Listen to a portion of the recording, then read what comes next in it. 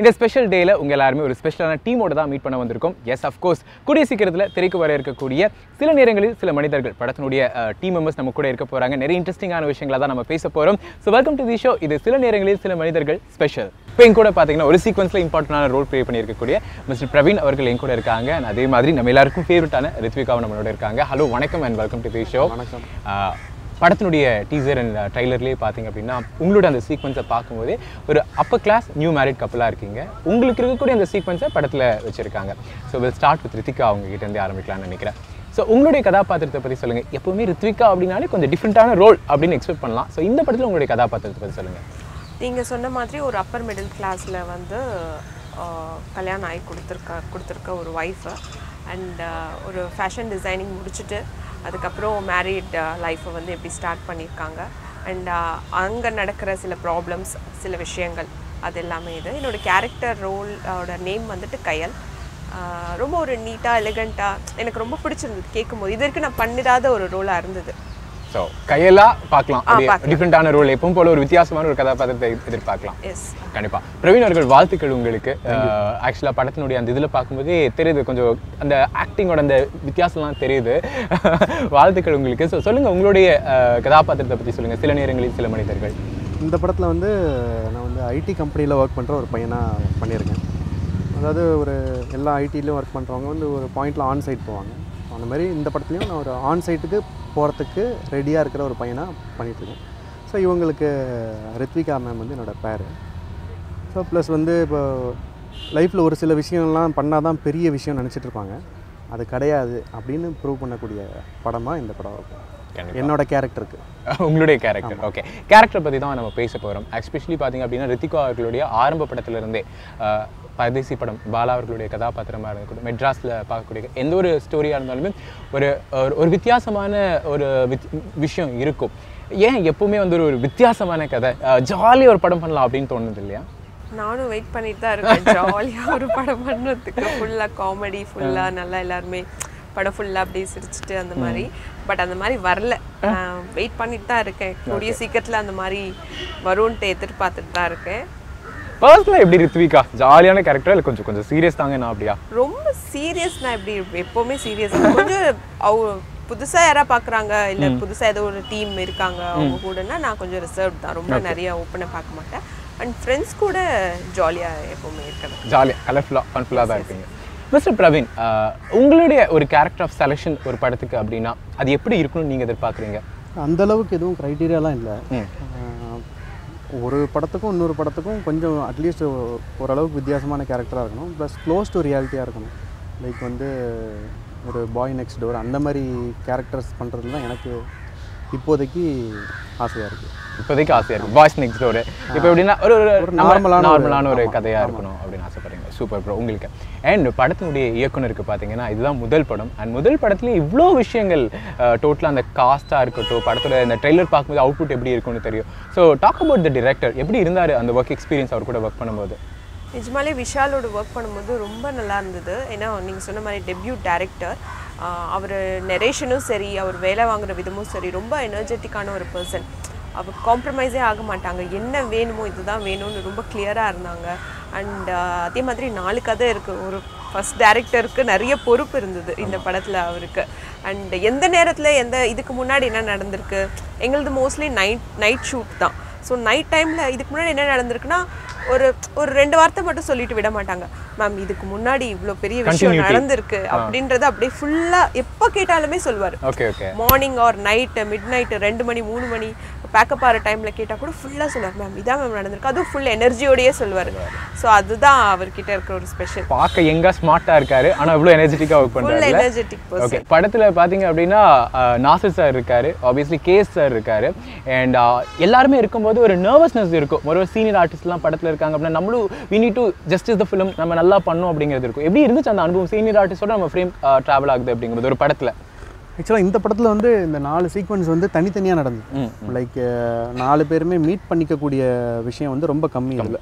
அதாவது நான் இப்போ அசோக்கை வந்து ஒரே ஒரு சீனில் மீட் பண்ணுவேன். அதாவது நானும் இவங்களும் மீட் பண்ணுவோம்.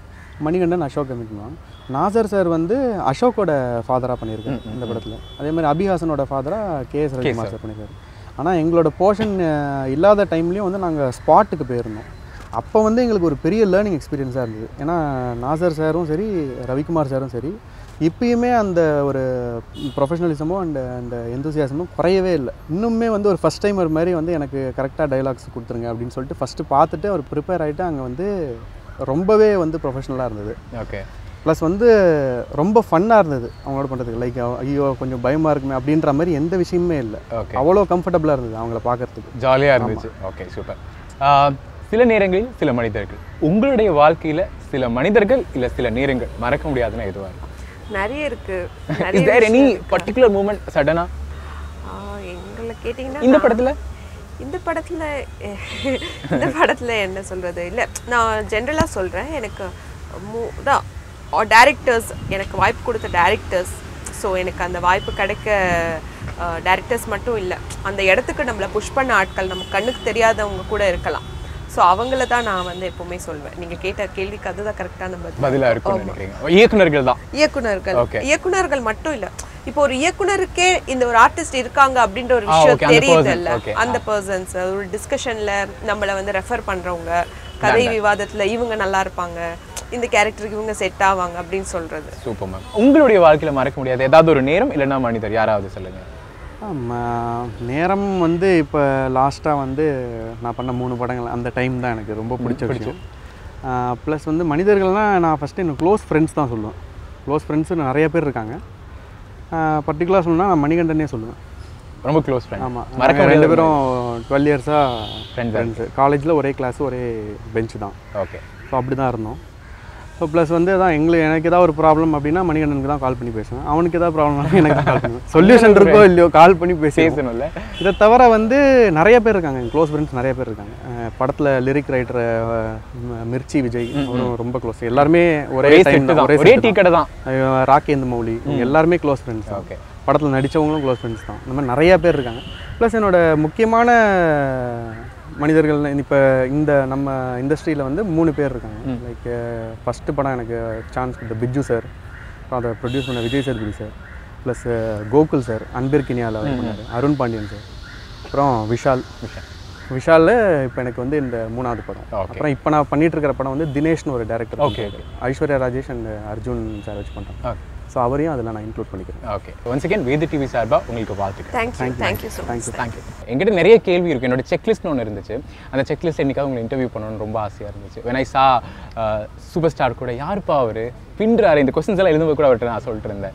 அப்படிங்கிற மாதிரி இருந்துச்சு. அதாவது டீ கடையில் சினிமா கனவுகளோட இருந்த ஒருத்தர் பார்த்தீங்க அப்படின்னா within a span of time ஒரு ஸ்பேன் ஆஃப் டைம்குள்ளே அவர் கான்ட்ரிபியூட் பண்ணக்கூடிய ஒரு படம் பார்த்தீங்கன்னா ஆஸ்கருக்கு நாமினேட் ஆகுது.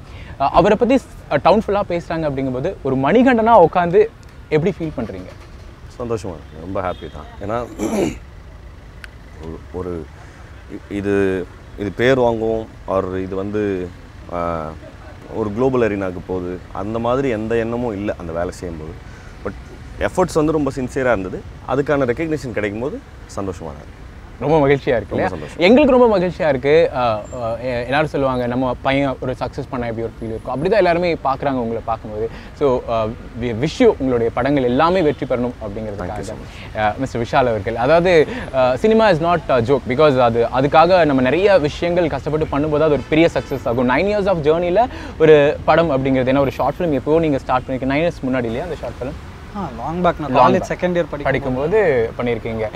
அப்படி இருக்கும்போது ஃப்ரெண்ட்ஸ் வச்சு ஒரு படத்தை நீங்கள் சக்சீட் பண்ணுறீங்க அதுவும் அவ்வளோ பெரிய ஸ்டார் காஸ்ட் இருக்காங்க. கேசர் சார் நாசர் சார் இருக்காங்க மணிகண்டன் இருக்காங்க. எல்லாம் இருக்கும்போது எப்படி பார்க்குறீங்க அந்த சக்ஸஸை ஃபைனலி இல்லை இது சக்ஸஸ் எனக்கு சக்ஸஸ் வெரி பர்சனல் திங் இது சக்ஸஸ்னு சொல்ல முடியாது. பட் ஓகே இப்போ தான் நாங்கள் நான் இப்போ தான் ஒரு ஸ்டார்ட்டாக நான் ஃபீல் பண்ணுறேன் நம்ம ஒரு படம் பண்ணணுன்றதுக்கு தான் நம்ம ஒரு பெரிய எஃபர்ட் எடுக்கிறோம். எல்லாருமே ஒரு பெரிய ஜேர்னி ஒரு ட்ராவல் இருக்கும். இப்போது மணி நான் வந்து இன்னைக்கு வந்து ஒரு இன்னைக்கு ஒரு ரெக்கக்னேஷன் இருக்குன்னா அவர் பின்னாடி அவர் எவ்வளோ எஃபர்ட் போட்டிருக்காருன்றது வந்து நான் ஒரு டுவெல் இயர்ஸாக எனக்கு அவர் தெரியும். ஸோ அந்த அவர் எவ்வளோ மெனக்கெடல் ஒவ்வொரு டிபார்ட்மெண்ட்லையுமே சரி அது ரைட்டிங்லையா எல்லாத்துலேயுமே அவர் எவ்வளோ தனியாக ஒரு எஃபர்ட்ஸ் போடுறாருன்றது பார்த்துருக்கோம். ஸோ அந்த எஃபர்ட் அங்கேருந்து எவ்வளோ தூரம் நம்மளால் லேர்ன் பண்ணிக்க முடியும்? நம்மளை சுற்றி இருக்கிற ஆட்கள் நம்மளை இன்ஸ்பயர் பண்ணுவாங்க. ஸோ அந்த எஃபர்ட்டை அங்கேருந்து கொஞ்சமாச்சும் நம்ம லேர்ன் பண்ணி ஏதாச்சும் டெவலப் பண்ணி வரும்போது இந்த ஸ்டார்ட் கிடச்சதுக்கு நான் ரொம்ப ஹாப்பியாக ஃபீல் பண்ணுறேன் ஓகே கண்டிப்பாக அண்ட் கதை கதையில் இருக்கக்கூடிய கதாபாத்திரங்களுடைய செலெக்ஷன் அப்படிங்கிறதா ரொம்ப முக்கியம். ஒரு சில நடிகர்கள் பார்த்தீங்க அப்படின்னா அவங்களுக்கான ஆடியன்ஸ்க்கான கதையை செலக்ட் பண்ணுறாங்க இல்லை அவங்க ஒரு செல்ஃபுக்கான எனக்கு இந்த கதை பிடிச்சிருக்கு பர்சனல் செலக்ட் பண்ணுறாங்க மணிகண்டன் அவர்களுடைய கதை தேர்வு கதாபாத்திரங்களுடைய தேர்வு எதை பொறுத்து இருக்கு? ரெண்டுமே வெவ்வேறு. கதாபாத்திர தேர்வும் கதை தேர்வும் வெவ்வேறு. அஹ் இப்போ சில படங்களில் கதாபாத்திரம் ரொம்ப ஸ்ட்ராங்காக எழுதப்பட்டிருக்கும். பட் ஆனால் அது கதை கதை ஹோல்சமாக கதையாக வந்து டவுன் ஆயிருக்கும். சில சமயங்களில் வந்து கதை ரொம்ப நல்லா இருக்கும். கதாபாத்திரத்தை அதோ அதோட வடிவமைப்பு வந்து கொஞ்சம் ஸோ இதில் வந்து அது ரெண்டுமே ஒன்- ஒரு சேர வர்றது வந்து ரொம்ப ரேராக நம்மளுக்கு அந்த மாதிரியான படங்கள் வரும். நான் நம்ம வந்து பொதுவாக வந்து ஹோல்சமாக இது எப்படி இருக்குது அப்படிங்கிறத வச்சது மட்டும்தான் நம்ம அதை அந்த ப்ராஜெக்டை வந்து எடுத்துக்கிறோம். ஓகே ஸோ கதை கதாபாத்திரங்கள் வித்தியாசப்படுத்திட்டு உங்களுடைய கதாபாத்திரத்துக்கான முக்கியத்துவம் என்னவோ அதுக்கான தேர்வுகளை முக்கியத்துவம்னு சொல்ல மாட்டாங்க. இப்போ அதில் வந்து இப்போ அது அது வந்து கதையில் ரொம்ப பிவிட்டலாக இருக்கா இல்லையாங்கிறது கூட எனக்கு அவசியம் இல்லை. பட் ரொம்ப முக்கியமான விஷயம் என்னன்னா அது எவ்வளோ என்டர்டெய்னிங்காக இருக்குது அந்த கதாபாத்திரத்தினுடைய பேசிக்காக அதோட ட்ரெஜெக்டரி என்ன எங்கேருந்து ஆரம்பிக்குது எது வரைக்கும் போகுது எங் எப்படி முடியுது?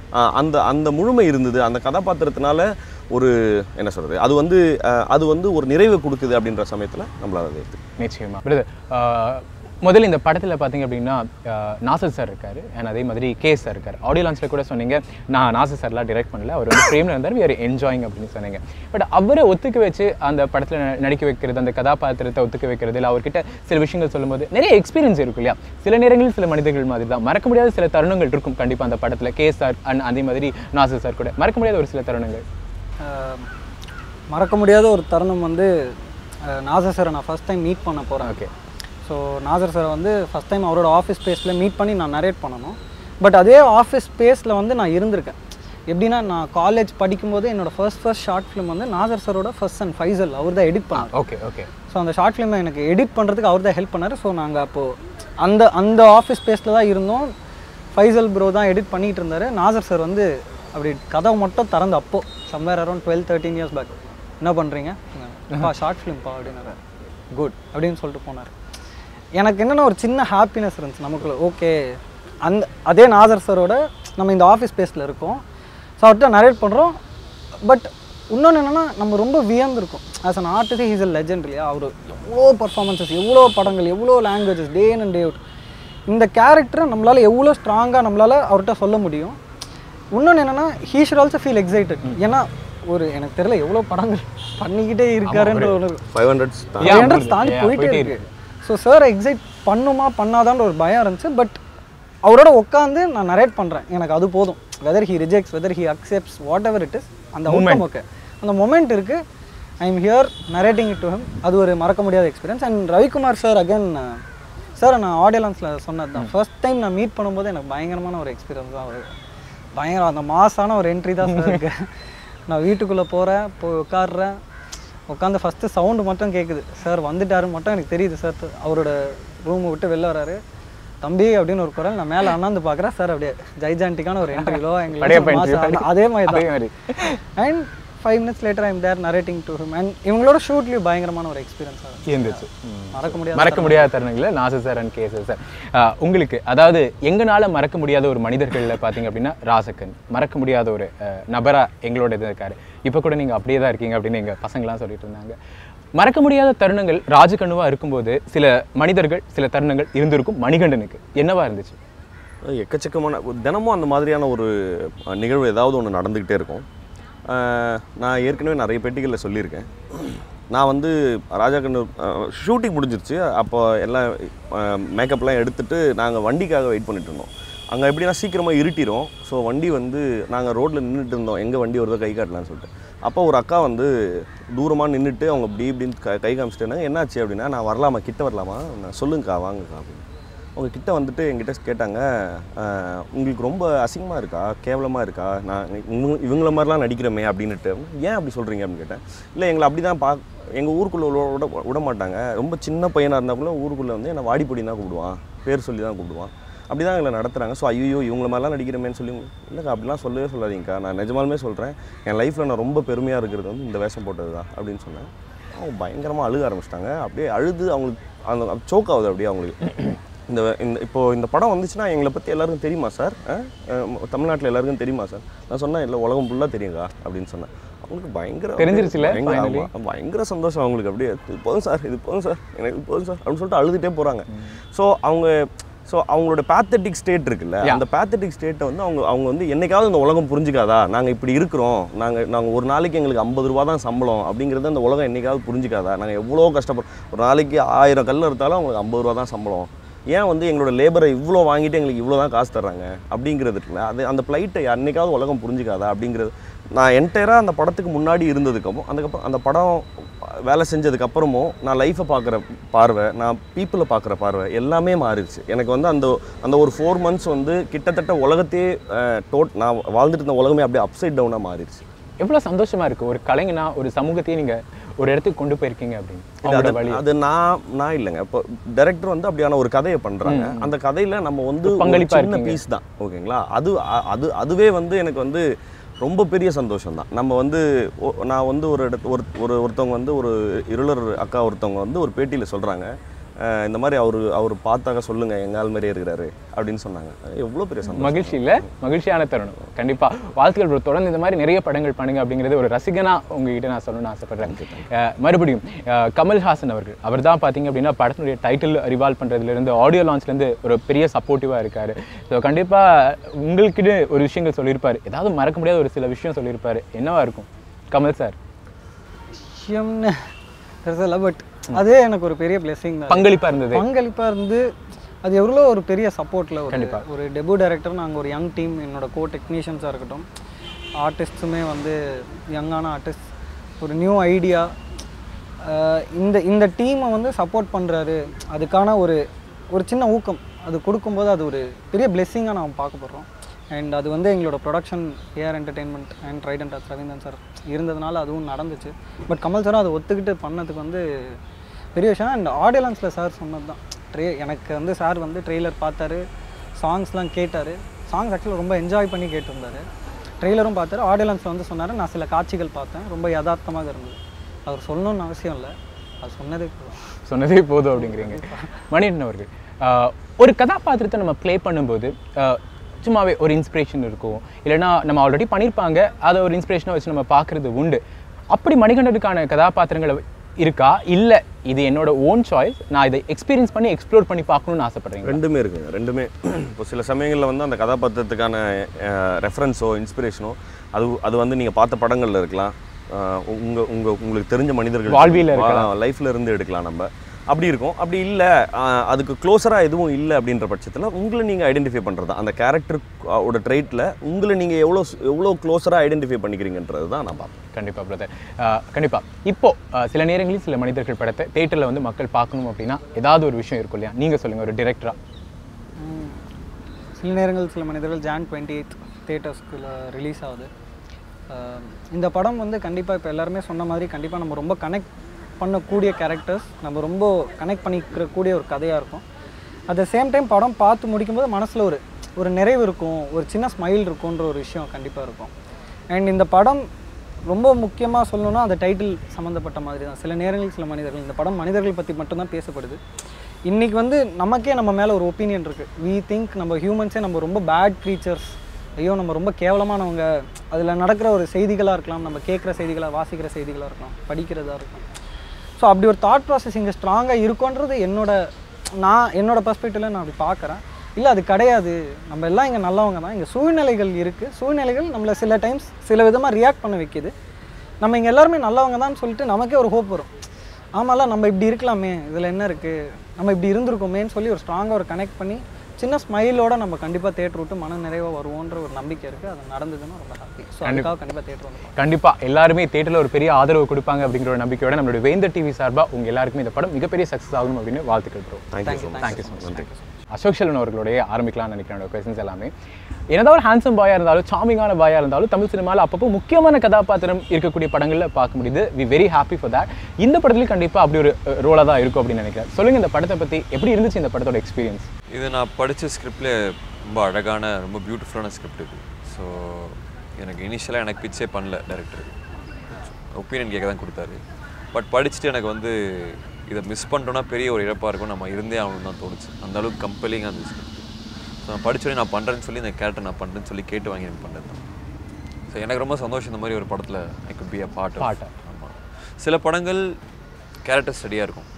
முழுக்க முழுக்க நம்ம வருவோம். அது இந்த கதைக்கு தேவைப்படுறதா இருக்கும். இந்த படத்தை பொறுத்த வரைக்கும் எல்லா ரோலுமே ஈக்குவலி மெஷர்ட் ஒரு ஒரு கேரக்டருக்குமே ஒரு செம்ம ஆர்க் ஒன்று இருக்கும். ஒரு லேர்னிங் இருக்கும். ஒரு அன்லேர்னிங் இருக்கும். அபி ரோலும் சூப்பராக இருக்கும் எந்த நல்லா இருக்கும் மணிகண்டன் நல்லா இருக்கும் பிரவீன் நல்லா இருக்கும் ரித்விகா நாஜர் சார் எல்லா ரோலுமே சூப்பராக இருக்கும் ஸோ அது ரொம்ப very intelligently written script super bro Abhihasan bro அதாவது பொது பொதுவாகவே பார்த்தீங்க அப்படின்னா தமிழ் சினிமாவில் ஒரு நாசிர் சார் மாதிரியான ஒரு ஃபேமிலியிலேருந்து நீங்கள் வரீங்க அப்படின்னா உங்களுக்குன்னு ஒரு பர்சனல் ப்ரெஷர் இருக்கும். We need to justice the role ஏன்னா அப்பாவோட படத்தில் அப்பா பட நடிக்க படத்தில் நானும் ஒரு ஸ்க்ரீன் ஷேர் பண்ணுறேன் அப்படின்னா அந்த ரோல் நல்லா பண்ணணும்னு ஒரு இது இருக்கும். எப்படி இருந்துச்சு அந்த அனுபவம்? ஏன்னா அப் சில நேரங்களில் சில மனிதர்கள் அப்பாவோடய ஒரு படத்தில் நம்ம நடிக்கிறோம் அப்படிங்கும்போது எப்படி இருந்துச்சு அந்த அனுபவம்? இல்லை ஐ திங்க் ப்ரெஷர்ன்றது வந்துட்டு ஆஸ் ஐ திங்க் ஆடியன்ஸ்க்கு தான் அந்த ஒரு இது எக்ஸ்பெக்டேஷன் இருக்கும். நாசர் சரோட சன் இவரும் பட் எனக்கு நான் பர்சனலாக அந்த ஒரு ப்ரெஷர் எடுத்துக்கிறது இல்லை நான். இஃப் இஃப் அட் ஆல் நான் வந்து அந்த ப்ரெஷர் எடுத்துகிட்டு ஓகே அப்பா இருக்காங்க இல்லை படம் அப்பா படத்தில் இருக்காங்களோ இல்லையோ?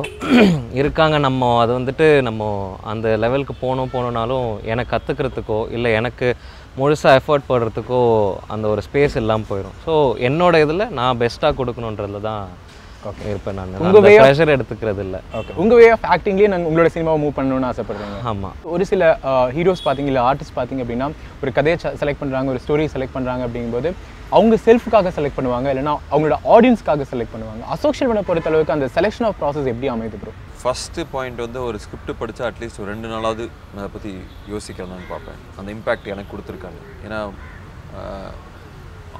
ஆன் வெரி பேசிக் லெவல் அந்த ஒரு படம் பண்ணோன்னா அது ஏதோ ஒரு வகையில் ஆடியன்ஸை தொடணும்னு ஆசைப்படுவேன். சில படங்கள் of course full length comedy jolly அப்படி பண்ணுவோம். பட் மோஸ்ட்லி எனக்கு இந்த மாதிரி படங்கள் பண்ணணும்னு ஆசை. அதில் இந்த படம் கரெக்டாக உட்காரும். ஏன்னா இந்த படம் நீங்கள் பார்த்துட்டிங்கன்னா ஒரு ரெண்டு நாள் யோசிப்பீங்க. ஏதோ ஒரு வகையில் உங்களை தொடும். ஏதோ ஒரு வகையில் நீங்கள் உங்களை பார்ப்பீங்க இல்லை உங்களுக்கு தெரிஞ்சவங்களை பார்ப்பீங்க. எனக்கு இந்த படம் வந்து எனக்கு நிறைய விடைகள் கொடுத்துருக்கு. ஸ்கிரிப்ட் படிக்கும்போதே என்னோட நிறைய வாழ்க்கை கொஸ்டின்ஸ்க்கு இதுக்கு ஒரு விடையை கொடுத்துருக்கு. ஸோ அந்த வகையில் ஸ்கிரிப்ட் சூஸ் பண்ணும்போது ஏதோ ஒரு வகையில் இம்பாக்ட் பண்ணுதான்னு தான் பார்ப்பேன். செல்ஃப்ங்கிறது வந்து படம் ஓடினா செல்ஃப் தானே. கண்டிப்பாக on a very basic level படம் ஓடினா தான் அடுத்தடுத்து ஒர்க் ஆக்டர்ஸ்க்கு இருக்கும். எந்த மாதிரி ஒர்க் வருதுங்கிறது அவங்க ஒர்க்கை பொறுத்து இருக்கும். ஸோ ஒன்று ரோல் இன்ட்ரெஸ்டிங்காக இருந்தே ஆகணும். நான் படம் வெறும் படம் ஒரு ஓடுற படத்தில் போய் நான் இருக்கணும்னு இருந்தேன்னா எனக்கு ஷூட்டிங் போர்டில் ஒரு எக்ஸைட்மெண்ட் இல்லாமல் இல்லாமல் போயிடும். நம்ம இங்கே எதுக்கு வந்தோம்னு மறந்துடவே கூடாது. இது வெறும் காசுக்காகவோ ஃபேமுக்காக வந்தால் இங்கே நான் அப்படி வரல. எனக்கு இந்த ஒர்க் ரொம்ப பிடிக்கும். நான் ஒர்க் ரொம்ப என்ஜாய் பண்ணுவேன். ஸோ அதுக்கு கரெக்டான ஒரு கேன்வஸ் கொடுத்து தான் வரைய முடியும். கண்டிப்பா. So, அந்த ரோல் எனக்கு பிடிக்கணும். மக்களுக்கும் பிடிக்கும்.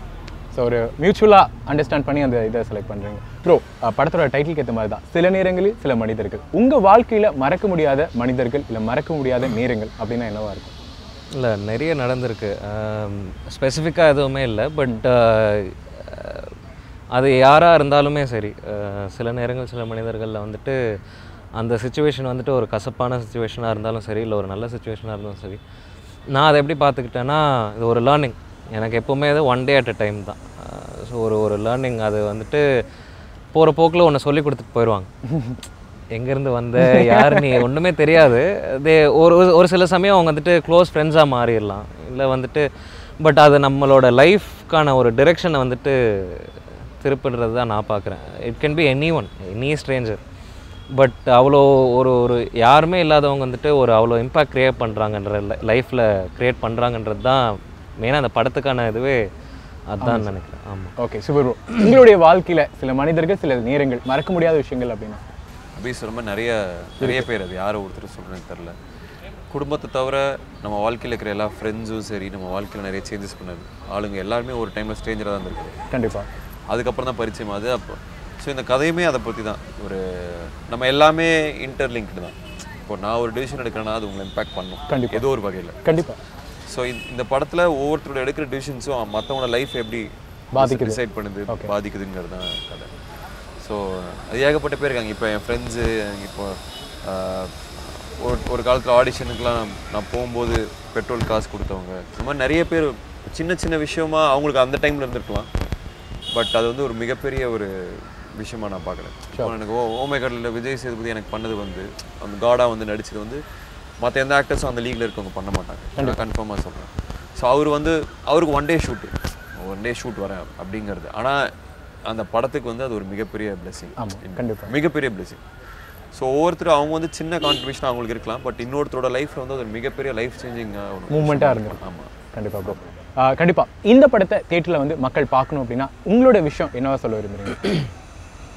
ஆம், ஒரு ட்ரெய்லர் பார்த்தாலும் சரி இல்லை போஸ்டர் பார்த்தாலும் ஒரு ஒரு ஃபீல் குட் ட்ராமாவாக தான் இருக்கும் பட் அதை தாண்டி படம் பார்த்துட்டு போகும்போது ஒரு ஒரு சின்ன ஸ்மைலோட ஒரு ஒரு ஹோப்போட போகலாம். அந்த படம் பார்த்துட்டு போகும்போது நம்மளை எனி கேரக்டர் இல்லை ஒரு நாலு லைஃப் இருக்குன்றதுனாலும் சரி இல்லை இப்போது என் கூட நடித்தவங்களா இருக்கட்டும் இது எந்த கேரக்டர் பார்த்தாலும் நம்மளை நம்மளே பார்க்குற மாதிரியோ இல்லை ஒரு ரிஃப்ளெக்ஷனாவோ ஸோ இதை பார்த்து ஒரு லைஃப்பில் ஒரு மாற்ற மாற்றம் இருக்கலாம். இருக்கும். நம்ம எவ்வளோக்கு எவ்வளோ கனெக்ட் பண்ணிக்கிறோமோ. ஸோ ஒரு ஒரு ஒரு ஃபீல் குட் ஹோப்ஃபுல்லான ஒரு மூவி தான் இருக்கும். ப்ரோ நீங்கள் சொல்லுங்கள் ரொம்ப அழகான ஒரு ஸ்கிரிப்ட் ரொம்ப ரசித்து எல்லாருமே ஒரு ஒரு சின்சியரான டீம் ஒரு அழகான படம் பண்ணியிருக்கோம். அது வந்து தேட்டருக்குள்ள ரிலீஸ் பண்ணுறோம் தேட்டரில் ஒரு எக்ஸ்பீரியன்ஸ் கிடைக்கும். நான் கன்ஃபார்மாக பர்சனல் கேரண்டியில் சொல்கிறேன் ஒரு வார்ம்த் ஒரு ஹோப் அபி சொன்ன மாதிரி ஒரு சந்தோஷத்தோட வீட்டுக்கு போகணும். ஸோ ரொம்ப பாசிட்டிவான ஃபிலிம் க்ளீனான ஃபிலிம் ஃபேமிலியோட வந்து பார்க்கலாம் குழந்தைங்களோட வந்து பார்க்கலாம் கண்டிப்பாக ப்ரோ படம் வெற்றி பெறணும் அப்படின்னு என்டையர் வேந்தர் டிவி சார்பாக வாழ்த்துக்கள் சொல்லிக்கிறோம் தேங்க்யூ. தேங்க்யூ மச் தேங்க்யூ சில நேரங்களில் சில மனிதர்கள் இந்த தருணம் என்னோட வாழ்க்கையில் மறக்க முடியாத ஒரு நேரமாக இருக்கும். அப்படிப்பட்ட ஒரு மனிதரோட நான் இருக்கேன். ரொம்ப பெரிய விஷயமா இருக்கு சார் சார் ஒவ்வொரு நடிகர்களையும் பார்க்கும்போது வித்தியாசமான கேள்விகளை கேட்க தோணும். உங்ககிட்ட தான் இந்த கேள்வியை கரெக்டாக கேட்கணும்னு தோணும். ஒவ்வொரு கலைஞனுமே பார்த்தீங்க அப்படின்னா அந்த கதாபாத்திரத்தை பார்த்தீங்கன்னா அவங்களுக்காக தேர்ந்தெடுக்கிறாங்க இல்லைன்னா அவங்களுடைய ஆடியன்ஸ்க்காக தேர்ந்தெடுக்கிறாங்க. இந்த ஐநூறு படங்களுக்கும் மேலே நடிச்சிருக்கீங்க. உங்களுடைய கதாபாத்திரங்களுடைய தேர்வு எதை பொறுத்து அமையுது சார் நான் எப்போவுமே என்னுடைய கதாபாத்திரத்தை தேர்ந்தெடுக்கிற இடத்துல நான் இருந்ததே கிடையாது. நான் இந்த கதாபாத்திரத்தில் தோன்றுனா நல்லா இருக்கும்னு ஒருத்தர் டிசைட் பண்ணி தான் என்கிட்ட வருவாங்க. மேபி சில கதாநாயகர்கள் அவங்க தேர்ந்தெடுக்கிற உரிமை அவங்களுக்கு உண்டு. ஒரு குணச்சித்திர நடிகைனா நான் இதை பண்ணுவேன் என்னுடைய கேரக்டர் இப்படி இருக்கணும்னு நான் அது கிடையாது. ஒரு விதத்தில் நல்லதும் கூட அது. ஸோ அதனால் அதனால் நான் நான் எதிர்ப்ப எதுவுமே எதிர்பார்க்கல அப்படின்னும் போது வர்ற ஒவ்வொரு கதையும் வந்து கேட்கும்போது ரொம்ப புதுசாக இருக்குது எக்ஸைட்டட் ஆகுது. இல்லைனா எனக்கு தோணுன எனக்கு பிடிச்ச ஒரு கதாபாத்திரங்களை பண்ணணும்னு நினச்சா ஒரே மாதிரியாக வந்துட்டுருக்கோம். So I am blessed that எனக்கு அந்த மாதிரி ஒரு இடம் இல்லைன்னு. ஸோ என்கிட்ட புதுசாக நான் நினச்சே பார்க்காத ஒரு கதாபாத்திரத்தை கொடுக்கும்போது ஐ கெட் எக்ஸைட்டட் அதே தான் இந்த படத்துலையும் நடந்துச்சு. ஓகே சார் சார் நான்கு முக்கியமான கதைகளில் ஒரு முக்கியமான பகுதியில் உங்களுடைய மகனும் நடிச்சிருக்காரு சார் ஒரு தந்தையாக பார்க்கும்போது எப்படி இருக்கு உங்களுக்கு? இல்லை தந்தையாக பார்க்கறது வேற. அது எல்லா ஒரு பர்சனல் எமோஷனல் இருக்குல்ல சார் ஏன்னா இல்ல, ஆசை கனவுகளோட. ஆசை கனவு. அவருடைய கனவா இருக்கலாம் அவருடைய கனவு அது. ஸோ அவனுடைய கனவை வந்து எவ்வளோ தூரம் நான் வந்து ஒழுங்குபடுத்தி தர முடியுன்றது தான் என்னுடைய- என்னுடைய கனவு கிடையாது. அந்த அவன் தீர்மானித்தான் அவன் தான் ஏன்னா என்னுடைய அப்பா எனக்கு அந்த இதை கொடுக்கல. ஸோ ஆனால் அவன் ஒரு விஷயத்தை தேர்ந்தெடுத்திருக்கான். அவன் வந்து பண்ணால் நல்லா இருக்கும். கட கடாரம் கொண்டான் நடிக்கும்போது எவ்வளோ மகிழ்ச்சியாக ஃபீல் பண்ணணும் அதே மாதிரி தான் இந்த படத்துலையும். என்ன ரெண்டு பேரும் சேர்ந்து இணைஞ்சு ஐ மீன் இணைஞ்சு ஒரு கதையில் இருக்கிறோம். ஆனால் ரெண்டு பேரும் சேர்ந்து நடிக்கக்கூடிய வாய்ப்பு இல்லைன்னு இல்லை. ஒரு சின்ன ஒரு குழந்தைத்தனமான ஏக்கம் இருக்கே தவிர மற்றபடி பெரிய ஏக்கமெல்லாம் ஒன்றும் இல்லை. ஒரு சின்ன ஒரு ஒரு ஒரு குழந்தைக்கான குதூகலம் இருக்குது சரி என் பையனோட சேர்ந்து ஒரு படம் நடிக்கிறேன். அதுதான் அந்த மகிழ்ச்சி.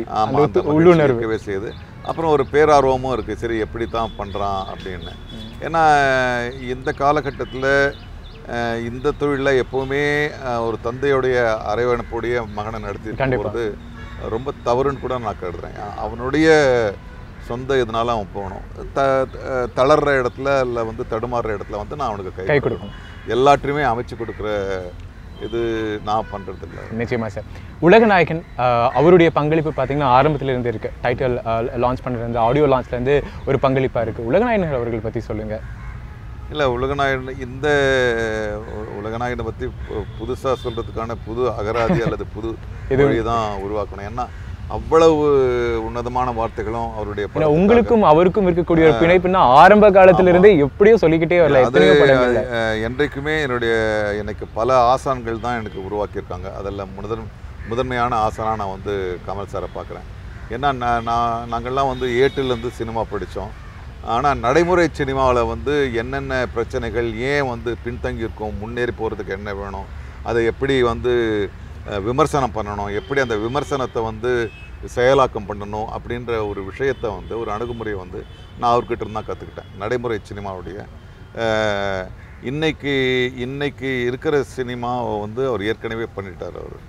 அஹ், குருதி புனல் ஆகட்டும் தேவர் மகனாகட்டும் நாயகனாகட்டும் எல்லாம் அது இதெல்லாம் வந்து இன்றைக்கி இருக்கிற சமகால சினிமான்னு நம்ம நினச்சிட்ருக்கோம் அவர் எப்போவுமே பண்ணிட்டார். ஆக அவர் என்றைக்குமே ஏன்னா அந்த நடமாடும் எதிர்கால மலிவான மலிவான ஒரு வார்த்தையாக போயிடுச்சு.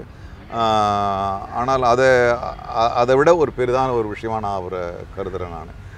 இது எல்லாத்தை விட மிக முக்கியமான விஷயம் என்னென்னா இது எல்லாம் தெரிஞ்சும் பாராட்டியும் அவர் தன்னடக்கத்தோட தான் சினிமாவை பொறுத்த வரைக்கும் இருக்கார். ஸோ அவர்கிட்ட வந்து தனிப்பட்ட மனிதராகவும் சினிமா கலைஞராகவும் கற்றுக்க வேண்டியது என்றைக்குமே இருக்கும். இன்னும் நூறு வருஷம் பழகினா கூட அவர்கிட்ட கற்றுக்கிட்டே இந்த கேள்வி என்னுடைய பர்சனல் கேள்வியாக நான் உங்ககிட்ட கேட்கணும்னு ஆசைப்படுறேன் சார் அதாவது எத்தனையோ கதாபாத்திரங்கள் நீங்கள் பண்ணியிருக்கீங்க பண்ணாத கதாபாத்திரமே இருக்காது. அப்படி ஒரு கதாபாத்திரத்துக்குள்ளே நீங்கள் போகும்போது ஒரு இன்ஸ்பிரேஷன் இருக்கோ இல்லைன்னா ஒரு அந்த அந்த கதாபாத்திரத்தை நம்ம வாழ்க்கையில் மக்களோட சூழ்நிலையில் பார்த்து எடுத்திருப்போம். திரு நாசர் அவர்களுடைய கதாபாத்திரத்துடைய தேர்வு இல்லை அதை எக்ஸ்ப்ளோர் பண்ணுற விதங்கள் எப்படி அமையுது சார் அதான் நான் ஏற்கனவே சொன்ன மாதிரி நான் தேர்ந்தெடுக்கிறது அப்படின்றது வந்து ரொம்ப குறைவு. ஏன்னா இந்த மெயின் ஸ்ட்ரீம் ஃபில்ம் அதாவது வெகுஜன படங்கள் அல்லது நீங்கள் சொல்கிற மாதிரி கமர்ஷியல் படங்கள்னு பார்த்தீங்கன்னா இந்த கமர்ஷியல் படங்கள் வந்து ஏறக்குறைய ஒரு ஒரே ஒரே இலக்கணத்துக்குள்ளே எடுக்கப்படுற படம். ஒரு நல்லவன் கெட்டவனுக்கு எடுக்கிறது. ஒரு நல்லவனுக்கான ஒரு பின்னணி கெட்டவனுக்கான ஒரு பின்னணி. இந்த ஒரு நான்கு மூல சதுரத்துக்குள்ளேயே போயிட்டுருக்கோம். இப்போ வந்து ந- நிறைய நிஜக்கதைகளை நம்பி உண்மை சம்பவங்களை ஆதாரமாக வச்சு படம் எடுத்துட்டு இருக்கும்போது அப்போ உண்மையான கதாபாத்திரங்கள் வருது. அப்படி தான் இந்த படத்துக்கும் ஆச்சு. இந்த படத்துக்கும் வரும்போது விஷால் வந்து இந்த கதையை என்கிட்ட சொன்னார். நான் வந்து நான் என்ன நடிக்கிறதுன்றதுக்காக நான் அந்த கதையை கேட்கல. முதல்ல நான் எப்போ கதை கேட்டாலும் நான் சம்மந்தப்படாத கதையாக தான் நான் அது உள்வாங்குவேன். முதல்ல கதையை கேட்டேன். கதையை கேட்டும்போது ரொம்ப அழகாக இருந்துச்சு. ரொம்ப அழகாக இருந்துச்சுன்னு தான் கரெக்டான வார்த்தைன்னு நினைக்கிறேன். அற்பு சூப்பராக இருந்துச்சு அதெல்லாம் கிடையாது. ரொம்ப அழகாக இருந்துச்சு. ஏன்னா வந்து எல்லாமே வாழ்க்கையில இருந்து பொறுக்கி எடுக்கப்பட்ட சம்பவங்களை வச்சு ஒரு கதையாக அது நம்பகத்தன்மையோடையும் இருக்குது அதில் ஒரு அதில் ஒரு ஒரு ஒரு ட்ரமடைசேஷனும் இருக்குது அப்படின்னும் போது ஃபஸ்ட்டு கதை எனக்கு இம்ப்ரெஸ் ஆச்சு. கதை இம்ப்ரெஸ் ஆன பிறகு சரி நான் என்ன கதாபாத்திரம் நான் யூகிச்சேன். பார்க்கறது தான் பண்ணேன். சரி இருந்தாலும் அது டைரக்டர் வயால் கேட்கணுன்னு சரி தம்பி இப்போ நான் என்ன பண்ணணும்? இல்லை சார் நீங்கள் அதை அசோக் செல்லனுடைய அப்பாவை அஹ், சரி தம்பி பண்ணுறேன் அப்படின்னேன். அந்த தம்பி சொன்ன அந்த அந்த அந்த ஒரு வார்த்தை தான் சரி இந்த படத்தை நம்ம வேறு எந்த இதுவும் இல்லாமல் நம்ம ப்ரிஃபரன்ஸ் கொடுக்கணும். அவர் அந்த அந்த- தம்பி என்ன சொல்லிச்சுன்னா சார் நீங்கள் வந்து நிறைய படத்தில் அப்பாக்கள் பண்ணிட்டீங்க. எல்லா படத்துலையும் வந்து நீங்கள் வந்து விரைப்பாகவும் இதுவாகவும் பயப்படுற மாதிரியும் இல்லை கடுமையாகவும் இல்லை மரியாதைக்குரியராகவும் இருக்கீங்க. இந்த படத்தில் எனக்கு வந்து ஐயோ பாவம் அப்படின்ற ஒரு இது வேணும் சார் அப்படின்னாரு. ஒரு ஒரு தகப்பனார் கதாபாத்திரத்தை வந்து நான் வந்து அணுகவோ இல்லை வந்து நடை நடைமுறைப்படுத்தவோ இல்லைன்னு. சட்டுன்னு நான் ஒத்துக்கிட்டேன். சரி நான் பண்ணினேன். ஏன்னா வழக்கமாக சில ஒரே விஷயங்களை திருப்பி திருப்பி பண்ணும்போது அது வழக்கமாயிடுது. ரொம்ப ரொம்ப ஈஸியாகிடுது ரொம்ப இலகுவாயிடுது. ஆனால் இது வந்து நான் இந்த மாதிரி பண்ணதே கிடையாது. ஒரு பாவமாக இருக்கிற ஒரு கேரக்டர் பண்ணதே கிடையாது. அதுக்காக சில வேறு விதமான அணுகுமுறைகளை நான் வந்து யோசித்து யோசித்து யோசித்து பண்ணி அதை நான் பண்ணியிருக்கேன். ஸோ இதுதான் ஒரு எக்ஸைட்மெண்ட் அந்த அவர் வந்து ஒரு மணி நேர கதை சொன்ன கதை சொன்னதை விட அந்த ஒரு வரியில் வந்து இது வரைக்கும் உங்களை வந்து அப்பாவை பார்க்கும்போது பயந்தோ மரியாதை தரக்கூடியவராக இருந்திருக்காங்க. ஆனால் இந்த படத்தை பொறுக்கும் நீங்கள் ஐயோ அப்படின்ற மாதிரி இருக்கணும். அந்த ஒரு வார்த்தை போதும் ஒரு ஒரு ஒரு கதாபாத்திரத்தை விளக்கி ஒரு நடிகர்கிட்ட சொல்கிறதுக்கு அதே மாதிரி வந்து இன்னொரு முக்கியமான விஷயம் என்னென்னா அவர் வந்து அந்த கதா அந்த முழு திரைக்கதை வடிவத்தை வந்து என்கிட்ட கொடுத்துட்டார். சார் நீங்கள் படித்து பார்த்துட்டு சொல்லுங்கள் அதே மாதிரி அந்த அந்த கதை அந்த புக்கில் அவர் என்ன எழுதியிருந்தாரோ அதுதான் அவர் எடுக்கவும் செஞ்சார். அதை மீறியும் அது இது ஸோ அப்போ அவர் ரொம்ப தெளிவாக எடுத்திருக்காருன்னு அர்த்தமாகுது. அதனால வந்து கதையும் முழுமையாக இருக்கும். எல்லோருக்கும் எல்லாரும் ஒரு வித்தியாசமான பரிமாணத்தில் திரு நாசர் அவர்களை இந்த சில நேரங்களில் சில மனிதர்களை பார்க்கலாம் அப்படிங்கிற நம்பிக்கையோட உங்களுக்கு மறக்க முடியாத யாராவது ஒரு சில மனிதர்கள் சில நேரங்கள் இருந்திருக்கா சார் வாழ்க்கையில்? அது என்னுடைய வாழ்க்கையில் இல்லை உங்களுடைய வாழ்க்கையிலும் எல்லாருடைய வாழ்க்கையிலையும் வந்து அப்படித்தான் இருப்பாங்க. இன்னின்னாரோட தான் என்னுடைய வாழ்க்கை நடக்கும் இன்னின்னாரோட தான் என்னுடைய வாழ்க்கை சீரழிக்கப்படும் அப்படின்லாம் இருக்கவே முடியாது. திடீர்னு நம்ம சந்திக்க முடியாத ஒரு நிகழ்வோ அல்லது மனிதர்களோ அல்லது இல்லை நம்ம ந- நம்பவே நம்பாத சில மனிதர்கள் கூட நம்மளுக்கு ஹெல்ப்ஃபுல்லாக இருந்திருக்கலாம். ஆக வா- வாழ்க்கை வந்து எப்போவுமே நம்மளை வந்து ஒரு ஆச்சரியங்களை தந்துக்கிட்டே இருக்கும். ஸோ அது மாதிரி எனக்கு நிறைய உண்மைக்கு நான் சொல்ல போனால் சில சில மனிதர்களால் தான் நான் உருவாக்கப்பட்டேன். என்னுடைய தாய் என்னுடைய தந்தை ஒரு பக்கம் இருந்தாலும் அவர்கள் தான் ஆதாரமாக இருந்தாலும் என்னை உருவாக்கியவர்கள் ஒரு மணி நேரம் என்னை பட வகுப்பெடுத்த ஆசிரியர்கள் கூட இருக்கிறார்கள். அவர்களோடு வெகு நேரம் நான் பயணிக்கவில்லை என்றால் கூட ஒவ்வொரு ஆசிரியரையும் நான் சில மனிதர்கள் என்ற ஒரு அடக்கத்தில் அவர்களை கொண்டு வந்தாலும் ஆசிரியர்களாக இருந்தாலும் சில மனிதர்கள் போது நான் அவங்கள கொண்டு வரேன் நான். அவங்கெல்லாம் தான் என்னுடைய வாழ்க்கையை வந்து மாற்றி அமைச்சிருக்காங்க. ஸோ ஆக இது யதார்த்தமான ஒரு உண்மை. நான் சில மனிதர்கள்னு நான் சொல்லவே முடியாது. என்னுடைய வாழ்க்கை பூரா வந்து ஒவ்வொரு நிகழ்வுலையும் ஒவ்வொரு புது ஆளை சந்திச்சுக்கிட்டே இருக்கேன். அவங்ககிட்ட வந்து ஏதாவது கற்றுக்க புதிய பரிமாணத்தை கொடுத்துட்டே ஸோ அதனால வந்து சில மனிதர்கள் என்னுடைய எல்லாருடைய வாழ்க்கையிலையும் வந்து பல மனிதர்கள் இருக்காங்க. நம்ம சொல்கிறதுக்கு வசதியாக சில நேரங்கள் சில மனிதர்கள். ஆக்சுவலாக சில நேரங்கள் சில மனிதர்கள் வழக்கத்தில் நம்ம என்னம்மா சொல்கிறோம்னா என்ன நேற்று அவன் கூட ஜாலியாக உட்காந்து பேசிகிட்டு இருந்தான் இன்றைக்கி பார்த்து அப்படியே வரைச்சிக்கிட்டு போகிறான் ஒன்றுமே நடக்கலையே. ஆனால் சில டைமில் அவன் அப்படி தான் இருப்பான். அந்த மாதிரி இதெல்லாம் வழக்கில் தான் அது யூஸ் பண்ணப்படுது. பட் என்னவாக இருந்தாலும் நாம் நம்புகின்ற அல்லது நம்முடைய நாம் நம்பாத சில மனிதர்களை வைத்து மட்டுமே என்னுடைய வாழ்க்கை போகிறது கிடையாது. எதிர்பாராத வருகின்ற மனிதர்களால் தான் ஒரு பெரிய பெரிய இதை கொண்டு வருது. நிச்சயமா சார். என்னுடைய வாழ்க்கையில மறக்க முடியாத ஒரு நேரமா இந்த நேரத்தை மாத்தி கொடுத்தீங்க. ரொம்ப ரொம்ப நன்றி சார். பர்சனலா ஒரு தேங்க்ஸ் சொல்லிக்கிறேன். Thank you sir. இந்த படம் வெற்றி பெறணும் அப்படின்னு வேந்த டிவி சார்பாகவும் வாழ்த்துக்கள் நன்றி. இந்த படம் வந்து உண்மையாகவே எல்லாருமே உண்மையாக உழைச்சி எடுத்திருக்காங்க. இதனுடைய தயாரிப்பாளர்கள் இதனுடைய உருவாக்கின தம்பிகள் எல்லோருக்கும் என்னுடைய வாழ்த்துக்கள். நன்றி நன்றி சார். சில நேரங்களில் சில மனிதர்கள் ரொம்ப இன்ட்ரெஸ்டிங்கான கதையாக இருக்குது நாங்கள் அதை ட்ரைலர் பார்க்கும்போதே அதை ஃபீல் பண்ண முடிஞ்சு ஒரு ஒரு படத்தில் இருக்கக்கூடிய கேரக்டர்ஸ் எல்லாம் பார்க்கும்போது. ப்ரொடியூசராக ஒரு சப்ஜெக்டை செலக்ட் பண்ணும்போது பார்த்திங்க அப்படின்னா நிறைய ரெஸ்பான்சிபிலிட்டிஸ் இருக்கும். நம்ம ஒரு ஒரு விஷயத்தை பிலீவ் பண்ண முடியாது. எல்லாத்தையுமே பிலீவ் பண்ண ஸ்டோரி ஆர்டிஸ்ட்டு டிரெக்டரு அப்படி எல்லாமே. ப்ரொடியூசர் ரியா எதை பிலீவ் பண்ணி ஒரு சில நேரங்களில் சில மனிதர்களை ப்ரொடியூஸ் பண்ணாங்க. ஆக்சுவலி வந்து நாங்கள் ஸ்கிரிப்ட் ஃபஸ்ட்டு கேட்கும் போது எங்களுக்கு ரொம்ப பிடிச்சி பிடிச்சிருச்சு. ஓகே ஸோ நாங்கள் இந்த படத்தை எடுக்க காரணமே படத்தினுடைய கதை மட்டும். ஃபஸ்ட்டு நமக்கு கதை தான் பிடிக்கணும் இல்லையா? ஸோ படத்தினுடைய கதை எங்களுக்கு ரொம்ப பிடிச்சதுனால தான் இந்த படம் நாங்கள் கண்டிப்பாக பண்ணியே ஆகணும். நாங்கள் இந்த படத்தை மிஸ் பண்ணக்கூடாது அப்படின்றதுக்காக ஸ்டார்ட் பண்ண படம் தான். ரியா செட்ல எப்படி இருந்தாங்க? ஒரு ஸ்ட்ரிக்டான ப்ரொடியூசர் தம்பி அதெல்லாம் தப்புப்பா அப்படின்னா? இல்ல நர்வஸான ஆக்டரா சார் இன்னொரு ஷார்ட் போகலாம் சார் அப்படி இருந்தாங்களா ரியா? ஆக்சுவலி ரியா ஆக்ட்ரஸாக இருக்கும் போது ப்ரொடியூசர் கிடையாது. ப்ரொடியூசராக இருக்கும் போது ஆக்ட்ரஸ் கிடையாது. ஸோ நான் ஆக்ட் பண்ணும்போது எனக்கு வந்து ஒரு டென் டேஸ் ஷூட் இருந்தது. ஸோ அந்த டைமில் நான் ப்ரொடியூசராக செட்டுக்குள்ளே இல்லவே இல்லை. டேரக்டர் என்ன சொல்கிறாரோ ரொம்ப ரொம்ப சமத்து சமத்து பிள்ளையா? டேரக்டருக்கு மரியாதை கொடுத்து டேரக்டர் என்ன சொல்கிறாரோ சார் இன்னும் ஒரு ஒன் மோர் போய்க்கிறேன் சார் அப்படின்னு சொல்லி அப்படி போகிற மாதிரி தான். பட் அது இல்லாத டைமில் ப்ரொடியூசராக இருக்கணும் வேண்டி இருக்கும் இல்லையா? ஸோ அந்த மாதிரி தருணங்களில் ப்ரொடியூசராக என்னைக்காவது நீங்க சொல்லும் போதே தெரியுது அப்படியே சமத்தா தான் இருந்திருக்கீங்க என்னைக்காவது அவங்க ஒரு ஆர்டிஸ்டா உட்காந்து இவங்க எல்லாம் பண்றதை பார்த்து பிஸ்டப் ஆகி எப்பா இப்படிலாம் பண்ணீங்கன்னா பட்ஜெட் செட் ஆகாதுப்பா. என்ன நினைச்சிட்டு இருக்கீங்க? அப்படிலாம் கேட்டிருக்கீங்களா ப்ரொடியூசரா நிறைய டைம் உங்களுக்குள்ள சந்திரமுகி வந்திருக்கா அந்த மாதிரி. நான் செட்டில் கேட்க மாட்டேங்க. செட்டில் எப்படி கேட்க முடியும்? ஒர்க் நடக்கிற இடம் சரி. ஸோ அந்த மாதிரி கேட்க மாட்டோம். ஆஃப்டர் முடிஞ்ச ஷூட் முடிஞ்சதுக்கப்புறம் சில விஷயங்கள் நடக்கும். ஆனால் வந்து ரொம்ப போய் விஷால் கிட்ட வந்து ஏன் விஷால் இப்படி பண்ண? அப்படின்னு கேட்குற அளவுக்கு அவர் நடந்துக்க மாட்டார். என்ன சொல்கிறது அவர் ப்ரொடியூசர் டைரக்டர் தான் சொல்லணும் விஷால் ஆக்சுவலி சொல்லணும்னா. எல்லா விஷயங்களுமே வந்து நம்ம ஒரு விஷயம் சொன்னோம்னா அதை எடுத்துக்கக்கூடிய ஒரு மனிதர். இல்லை இந்த விஷயம் எனக்கு தேவைனா அப்படின்னு அப்படின்னு அவருக்கு தோணுச்சுன்னா அதுக்காக ஒரு ஸ்டப்பனாக நிற்கக்கூடிய ஒரு மனிதர். கண்டிப்பா. ஏஆர் என்டர்டைன்மெண்ட் ஒரு முதல் படத்திலேயே ஒரு புது களமா கொடுக்குறாங்க. வித்தியாசமான கதைகளுடைய தேர்வா இருக்கு. அறிமுக இயக்குனருக்கு ஒரு வாய்ப்பு கொடுக்குறாங்க. அவங்களுடைய முதல் படத்துல அப்படிங்கிறது ஒரு சாதாரண விஷயம் கிடையாது. அப்போ ஏஆர் என்டர்டைன்மெண்ட்டுடைய விஷன் என்னவா இருக்கும் இன் ஃபியூச்சர்ல ஏஆர் என்டர்டைன்மெண்ட் அப்படின்னா ஒரு நல்ல கதையை மக்களுக்கு கொண்டு போய் சேர்க்கிற ஒரு நிறுவனமாக இருக்கணும் அப்படிங்கிறது தான் எங்களுடைய தாட்டே முதல் படம் இந்த மாதிரி ஒரு நல்ல கதை அமைஞ்சது நாங்கள் லக்கின்னு தான் சொல்லணும். கண்டிப்பா. ஸோ கண்டிப்பாக அப்போது அப் அப்கமிங் ஸ்டோரிஸ் என்ன மாதிரியான ஒரு ஃபெஸ்ட்டில் நீங்கள் செலக்ட் பண்ணுவீங்க? அறிமுக இயக்குனர்களுக்கான வாய்ப்பு இருக்குமா? இல்லை அடுத்து உங்களுடைய கட்டத்தில் வரக்கூடிய படங்கள் என்ன மாதிரியான கதைக்களத்தோடு இருக்கும் நீங்கள் கண்டிப்பாக நாங்கள் அடுத்தடுத்து பண்ணக்கூடிய படமும் வந்து ஒரு நல்ல கதை உள்ள ஒரு படம் தான் பண்ணுவோம். நான் கண்டிப்பாக அறிமுக இயக்குனர்களுக்கு வாய்ப்பு இருக்கும். ஒரு நல்ல கதை கொண்டு வந்தாங்கன்னா அவங்க வந்து நல்லா படம் எடுக்க முடியும் அவங்களால அப்படின்னா கண்டிப்பாக வாய்ப்பு இருக்கும் பார்த்துட்டு இருக்கக்கூடிய யங்ஸ்டர்ஸ்க்கு எல்லாம் ஒரு சான்ஸ் இருக்கு அப்படிங்கிறீங்க கண்டிப்பா.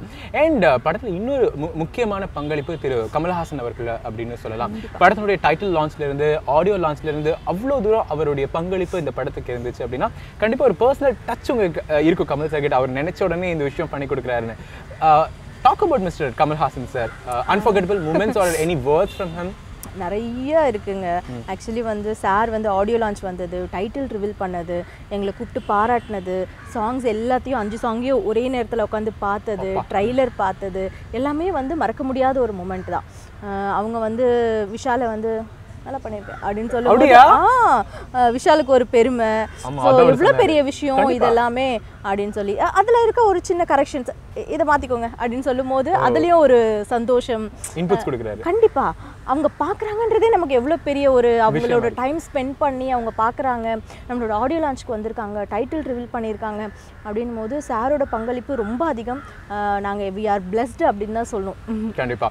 சில நேரங்களில் சில மனிதர்கள் வாழ்க்கையில எத்தனையோ மனிதர்கள் நம்ம வாழ்க்கையில வந்துட்டே தான் போயிட்டு இருக்காங்க அப்படி ரியா அவர்களுடைய வாழ்க்கையில மறக்க முடியாத சில மனிதர்கள் சில நேரங்கள் அப்படின்னு என்னவா இருக்கும்? கண்டிப்பா உங்ககிட்ட பர்சனல் எதிர்பார்க்குறோம். இல்லைங்க நிறைய பேர் இருக்காங்க.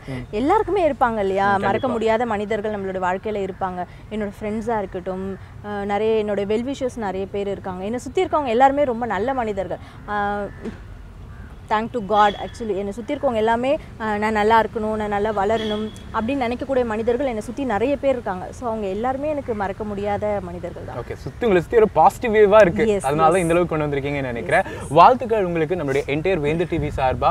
அஹ், சில நேரங்களில் சில மனிதர்கள் படம் மிகப்பெரிய வெற்றி அடையணும். அதே மாதிரி அடுத்தடுத்து தமிழ் சினிமாவில் நீங்க நிறைய படங்கள் கொடுக்கணும் அப்படின்னு வேந்து டிவி சார்பா Thank you, வாழ்த்துக்கள். வெல் இன்னைக்கு நம்ம நிகழ்ச்சியினுடைய எண்டுக்கு வந்துட்டோம். இவ்வளவு நேரம் பாத்தீங்கன்னா சில நேரங்களில் சில மனிதர்கள் படத்தினுடைய டீம் நிறைய இன்ட்ரெஸ்டிங்கான விஷயங்கள் படத்தை பத்தி நம்ம கூட ஷேர் பண்ணிக்கிட்டாங்க. மீண்டும் இதே மாதிரி உங்க எல்லாரும் வேற ஒரு ஷோல மீட் பண்றேன். அதுதான் ஸ்மீ ராம்குமார்.